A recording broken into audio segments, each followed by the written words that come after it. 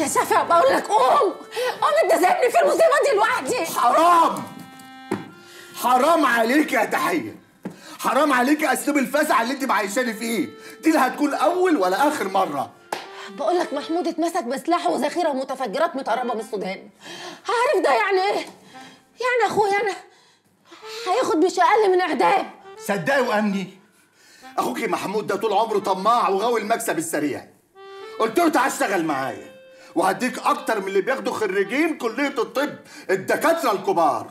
اتعنطز وعمل في أمها امه طبعا مهما خد مني مش هيجي قد اللي بياخده من مكسب تجارة السلاح.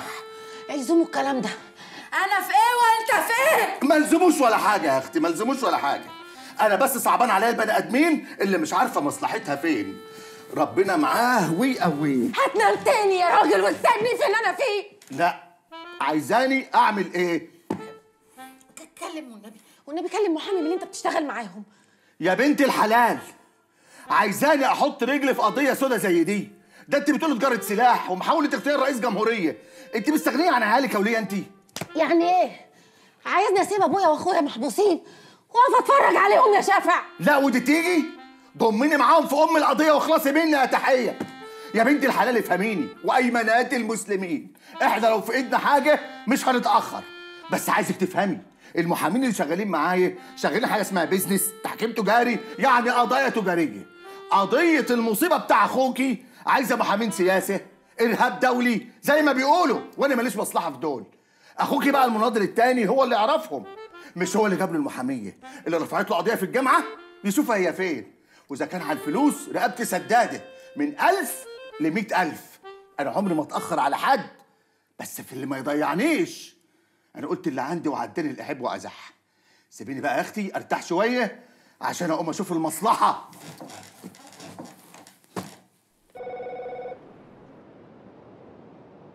اهدي يا مدام تحية.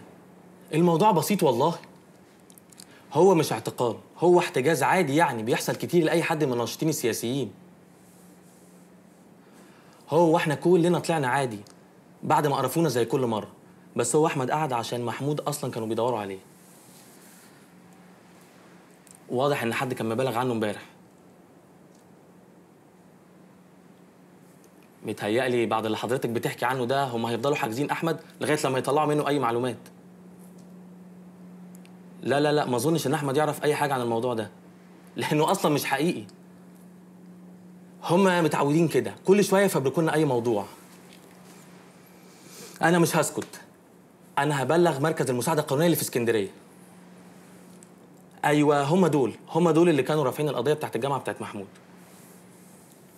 وعارفينه كويس. ده أنا هكلم كذا حد من صحابي اللي شغالين في منظمات حقوق الإنسان وصحفيين ومراسلين برامج. لا لا لا مش هنسكت خالص. عايزك تطمني خالص. أحمد أخويا ومحمود أخويا ومش هنسيبهم خالص.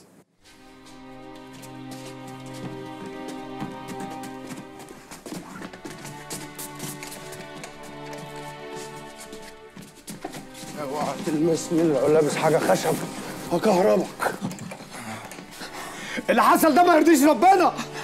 انت مين اللي عمل فيك كده محمود؟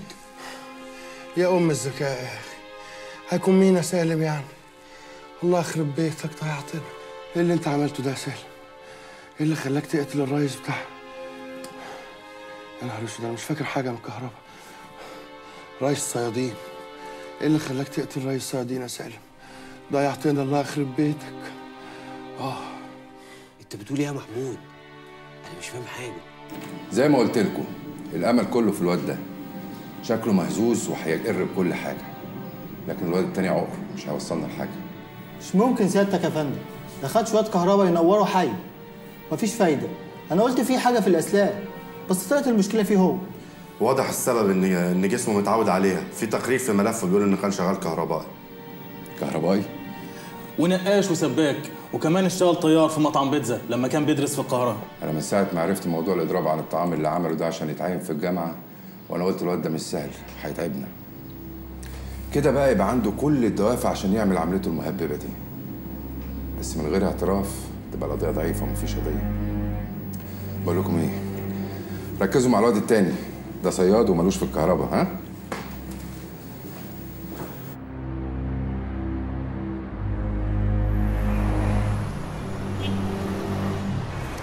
يوم السبت عندنا اعتصام عمال شركة المراجل البخارية. يا جماعة لازم نتضامن معاهم. أمن الدولة بيهددهم وفعلا اعتقل ثلاثة من قياداتهم. على الأقل يعني نساعدهم يوصلوا صوتهم للإعلام. في يوم الأحد القضية بتاعت أهالي توصل ويوم الاثنين في آه الوقفة الاحتجاجية بتاعت كلية آداب. ده عشان الطلاب اللي اتفصلوا لما عملوا معرض صور عن فلسطين. يوم الثلاث بقى في المقابلة مع الممثلي القوى السياسية والمجتمع المدني. المقابلة دي مهمة قوي عشان عاوزين ننسق فيها هنتحرك إزاي في قضية خالد سعيد. أو طبعا يوم الأربعاء الجلسة بتاعت سواق ميكروباص اللي اتعذب.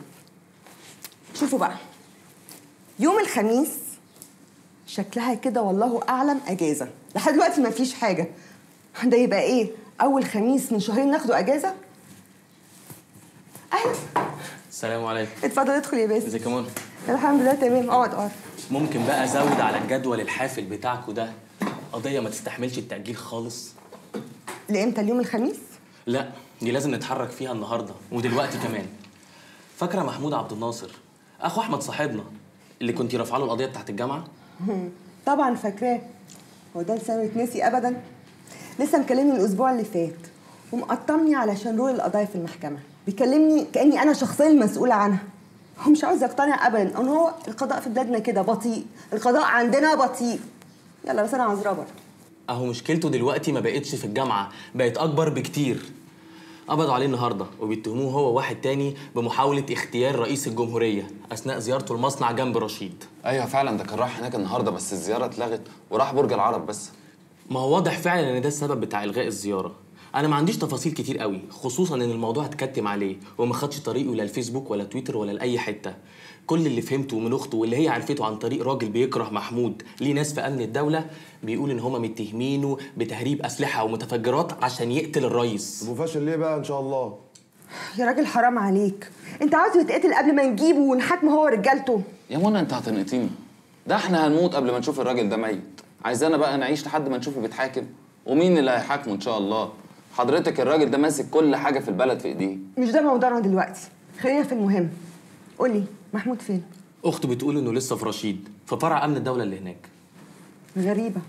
مع إن في المصايب الكبيرة عادة بيبعتوهم اسكندرية. تخيلوا بقى أم المصايب أكيد هيروح القاهرة. ما هي دي الفكرة.